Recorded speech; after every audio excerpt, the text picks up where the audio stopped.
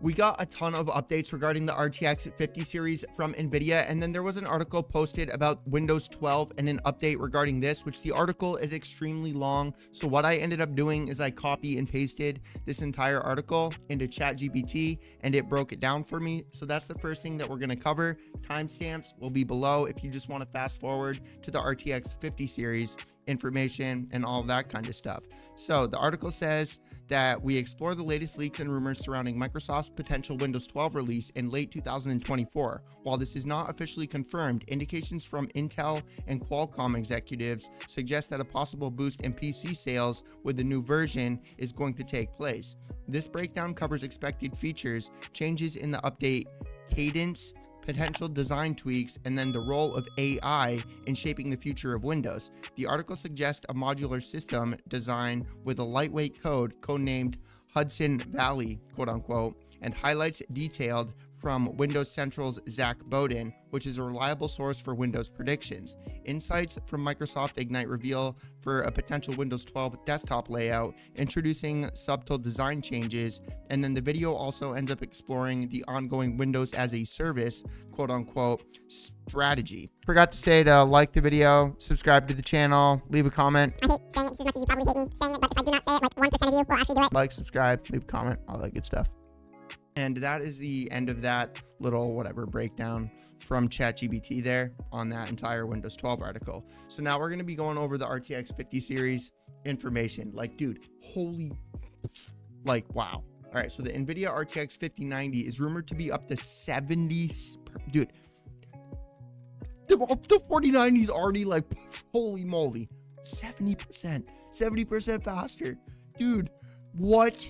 What do you mean? That like that man that's a now that's a like leap. Holy crap. So nvidia is done launching its Ada Lovelace generation of gpus now that the rtx supercards have landed.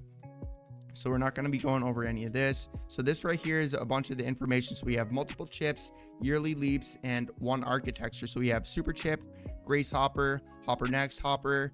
We got Ada Lovelace Ada Lovelace next grace grace next Bluefield 3 and Bluefield 4. That's super like uh, blurry. That's a it's like a 140p resolution. However, all right, so since the RTX 4090 currently has no competition from AMD and is priced at $1,600, I'm just curious to how many of you actually got a graphics card for that amount of money.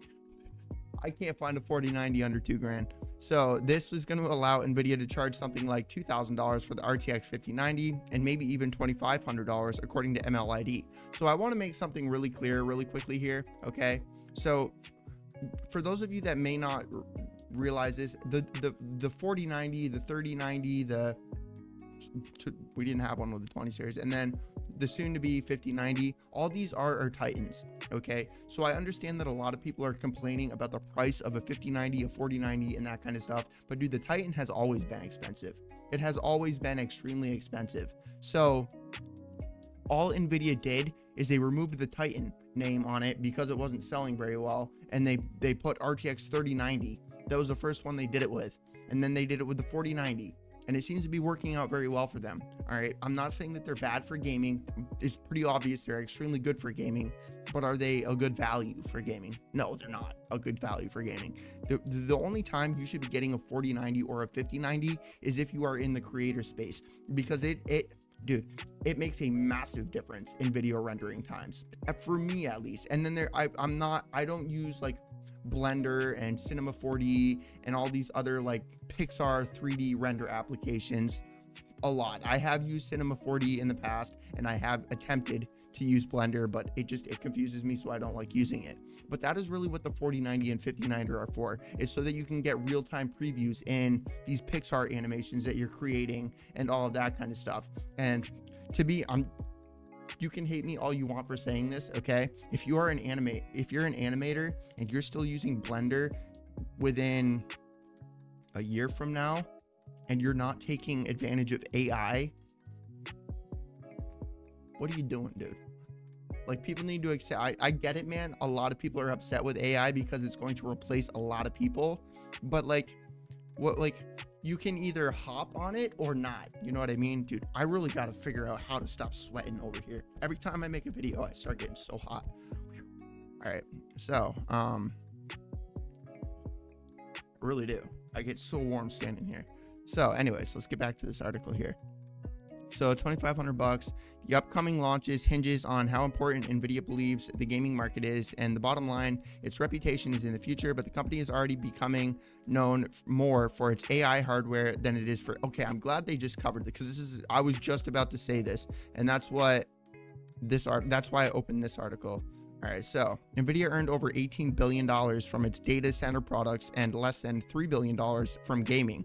Clearly, it must be a monumental shift within the company as to its priorities and how it allocates chips to gaming or data center products. I've been saying this a long time, man. For, for how long now? Like four or five months? Nvidia is not aiming their company at gamers anymore. It's, it's pretty clear to me that they're not trying to do that. And I understand that because of this, prices are going up. But so, something that if you guys ever become an entrepreneur and you start networking with other business minded people, something that you're going to see is that like the more successful entrepreneurs, they solve rich people issues.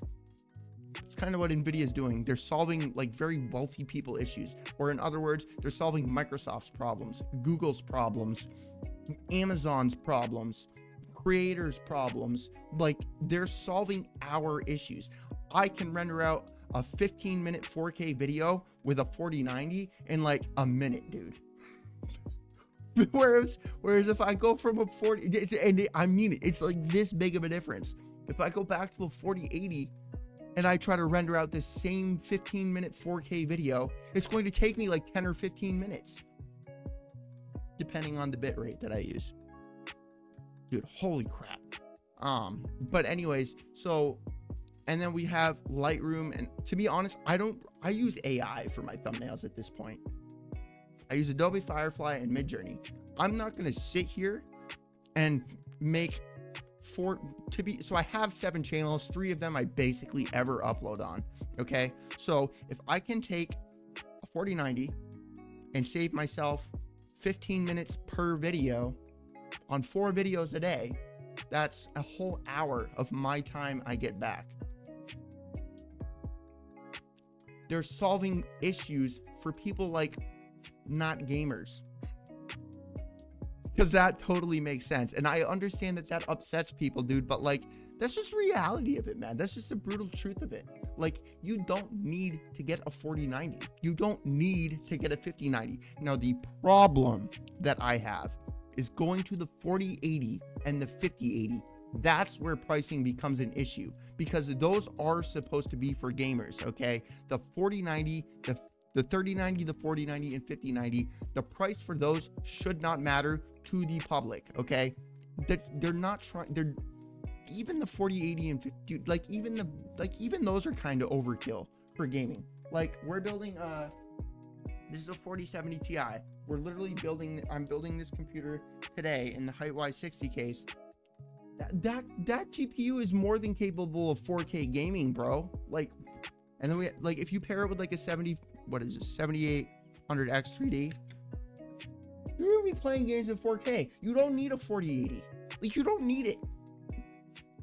You know what I mean? Like, so I, I don't know, dude that's just me. It's just the common sense that I have in my going on in my brain. But anyways, that's the end of this article. I know I got pretty off topic there, but we've gone over a lot of the specs. For those of you that are unaware, here it is. You're gonna have GDDR7 memory, the three nanometer process, the PCI 5.0, DisplayPort 2.1, and it's going to be lacking in its 40 series GPUs, three nanometer wafers. So I just, I really am. I'm. Can you imagine this? That's going to be insane, dude. All right, so waiting for NVIDIA's GeForce RTX 5090, brace for a possible shortage of the next generation GPUs. Now, you know, it's pretty obvious that this is going to happen. I think you know that this is going to happen just as well as I do. Now, COVID, and look, this is a conspiracy theory here, okay? I'm just, this is just a conspiracy theory, okay? If you look at Sony, okay?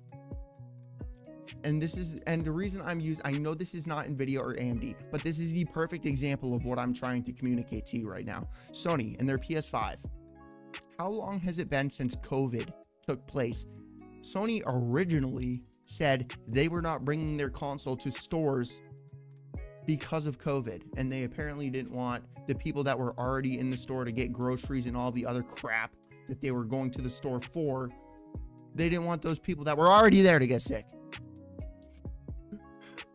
But now we're like, what are we at? Like four or five years later, and they're still almost impossible to get in a store. There is a reason for that, my friends. And it is because of resellers. Sony doesn't care about you. They don't care about me. They don't care about that, dude. They care about their console being gone the moment they put them online because everybody now is fully aware Sony is going to bring maybe two or three consoles to a store every single month. And they're going to leave the thousands and thousands and thousands of the rest of them on their website so that bots and scalpers can buy them and resell them for a markup. Sony is doing that intentionally. They have not just not brought their console to stores for four freaking years. There's a reason for this, bro. So, anyways, that's really all I need to say about that article. The NVIDIA RTX 5090 GPU could have fuller core count than the RTX 4090, but stock is a worry. And this is just kind of a little update regarding this exact same article. This is from Moore's Law is Dead. If you guys don't watch him on YouTube, he makes some pretty cool. He makes some pretty cool video. I'm subscribed to him. I haven't watched this video, but that's a that's a long title. Holy moly. Um, but anyways, if you guys want to go check him out, he's a really good creator. Tell him Dan does PC sent you. That'd be cool. I'm gonna I'm gonna go read his comment. That would be funny. uh, so anyways, that's really what this is mostly going over It's just kind of because of the chip and then the shortages with how chips are being manufactured right now over in China and then everything that's actually going on in our world like not just China specifically but our actual world man like there's a lot of stuff happening right now that you know I'm not political, okay? I have no idea about politics. I am the least political person. I have never voted for a president in my life, okay? I do not watch the news. I don't give a crap about the government. The reason I don't give a crap about the government is because the government does nothing for me but take my money in taxes. That's all they do. but, so, anyways, the reason I'm saying this, dude, is because our president Biden, he's okay. I'm not gonna go. I'm not gonna get into this, okay? Because I don't want to be disrespectful. I think anybody that like has even the slightest amount of clue on what's going on in our world with people coming into our country and stuff. You, I mean, when when the elections come in whenever they're coming. I've it's pretty hard to avoid. You see commercials. I don't know when the elections are. Again, I'm the least political person. So to all the political people about to attack me, I don't know anything that I'm saying right now. All I know is that Biden letting anybody into our country is having a negative impact on it. That's all I know. And because of this, I'm fully aware who the uh, ignorant guy what the heck? Why can I not think? Trump. When he comes back into office, which is pretty obvious to me that that is going to happen. Again, I don't vote, don't care who's president. Okay. But I know for a fact Biden is not going to be president. He's going to go down in history as the worst president. um, but uh, at least for like the next 50 to 100 years.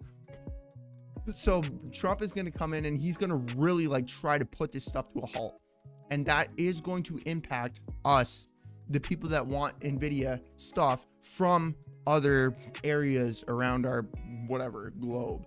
Anyway so anyways nvidia stock is on the rise and here's and uh, amd is climbing even faster. Now I, I just wanted to cover this because the other day we covered this and i thought um or what was it? I said something about uh whatever. Like selling stock. I don't I was something about it was I sold my stock with Nvidia just because of that explosive growth and like how company and so anyways the reason i'm saying this is because if you if if you do invest okay this is an opportunity to hop on amd because it th- the same thing that happened to nvidia is going to happen to amd and yes i did in fact invest in amd um, I don't know nothing about the stock market. All I know is that when I look up this stuff every day, there's, there's, a reason that I'm doing this stuff, dude. I really am. I'm just sharing stuff that I find interesting and that can be of value to you and to me because I learn as I edit this. That's how I learned. I have high functioning autism. So it is very difficult. So there's times where I seem confused with the articles that I'm reading, but I'm not learning as I'm reading and sharing it with you. I'm learning and reading just learning or I learn what I'm reading as I edit it because that is how I learn. I'm horrible at reading. I while I'm reading, I literally got 7 million other things going through my mind. So, anyway, yeah. Whatever, dude. Unless it's like super super duper like charty, like video cards website. That's why I say I love theirs because it's so simple for me to understand that. Um you know? But yeah, I'm a visual learner and a whatever learner. I'm a doing learner. I always have to learn the hard way. But anyways, man, let me know what you guys think about all this stuff. I think this is super cool. I'm very excited for the 5090, bro. Like, I just wish, dude, it sucks, man. It sucks being a creator. Or it sucks being small. It does, dude. It really does. It's like, cause like I would love to reach out to NVIDIA or Zotac or Gigabyte or MSI or Asus or whatever, do all these graphics card companies and be like, hey, would you would you send me a review unit? I don't even need to keep it. I can, I'll literally send it back to them. But it's like they don't do that. So like we got Linus and Bitwit and JayzTwoCents and Hardware Unboxed and Gamers Nexus and all these other whatever. And a new one for me is Daniel Owen. I just started watching him. He's a super cool guy as well. ETA Prime is another guy I really I like him because he covers emulation and I really like old school retro stuff. I know it's it's glitched out right now because that's a whatever. This is a um this is an emulator, but if I this is recorded gameplay by the way. but if I come back here, it's kind of see how it's like it's a little bit glitched out. So this is AI adding these these like whatever this stuff on the side I've showed you guys this in the past. It's super duper cool, but it glitches out sometimes. As you can see, there's like, so there won't be enemies that come like, right, see how it just like pops up? But that's so cool to me. I think that's so, as a person that likes retro stuff, I think that's the coolest thing ever. But anyways, I'm getting off topic, boys and girls. Let me know what you guys think about all this stuff, and I'll catch you guys in the next one. Peace.